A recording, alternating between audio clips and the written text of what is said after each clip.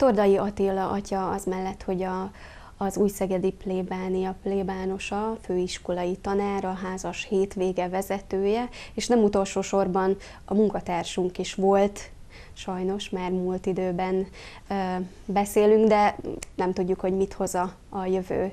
Emlékszik-e arra a kezdetekre, hogy hogyan is került kapcsolatba a Bónum TV-vel? A Szeged Csanádi Egyházmegye papja vagyok, de 2001 és 2005 között Budapesten a teológián, a Pázmány Péter Katolikus Egyetem hittudományi karán voltam tanár, és akkor igény született arra, hogy a Bonum TV-ben a napi evangéliumról szóljak. Ha meghívást kaptam, én ezt örömmel teljesítettem. Végül is az a szentírási szakasz, amelyik éltet bennünket, az hadd éltessen minél többünket. Tehát az volt a szép feladatom, hogy felolvassam az evangéliumi szakaszt, amit aznap amúgy is a liturgiában olvasunk, és bár nem egy konkrét hívő közösség előtt a templomban hangzik el a ige magyarázat, a buzdítás, de tudom azt, hogy a Bonum TV nézői szerte a Kárpát-medencében mondhatjuk bárhol követik ezt, és ha javukra lehetek, hát szívesen vállalkoztam erre. Ez néhány évig volt, ameddig Pesten voltam, erre lehetőség adódott. Azután pedig új Szegedre került, és most már évek óta itt teljesít szolgálatot. Hogyan látja, fontos-e ma Magyarországon egy katolikus televízió jelenléte?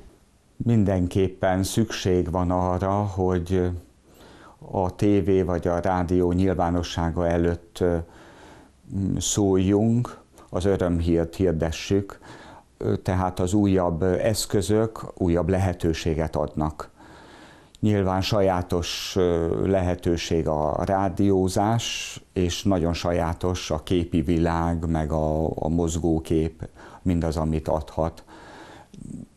Az interneten keresztül, illetve bizonyos tévécsatornákon keresztül, vagy előfizetéseken keresztül a Bonum TV fogható.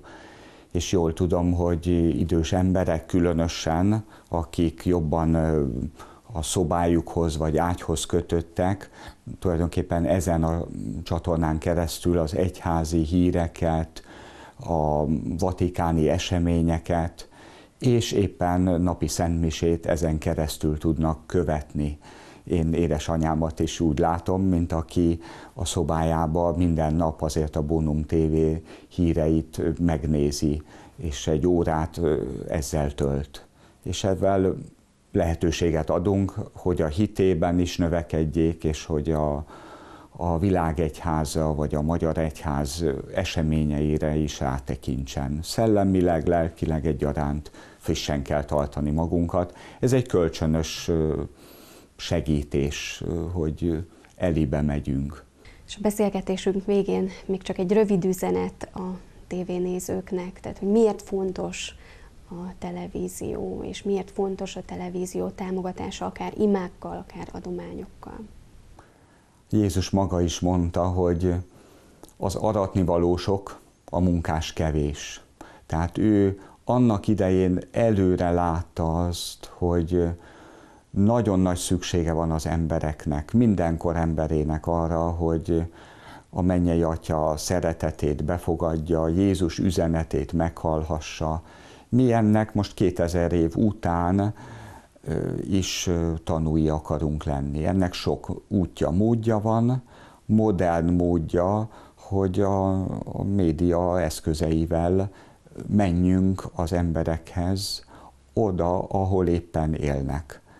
Sokszor a, a szavak, a gesztusok nagyon sokat érnek, de hogy az tényleg a, elérje igazából célját, a, a szavaknak igazából súlya legyen, hát az imádságos háttérre mindig szükség van. Tehát a hívő közösség a missziót mindig is szívén kell, hogy viselje. Tudjuk azt, hogy végső ez Jézus ügye, ő viszi végbe a mi igyekezetünket, tehát hogy az Úr tegye teljessé, amit elkezdett rajtunk keresztül.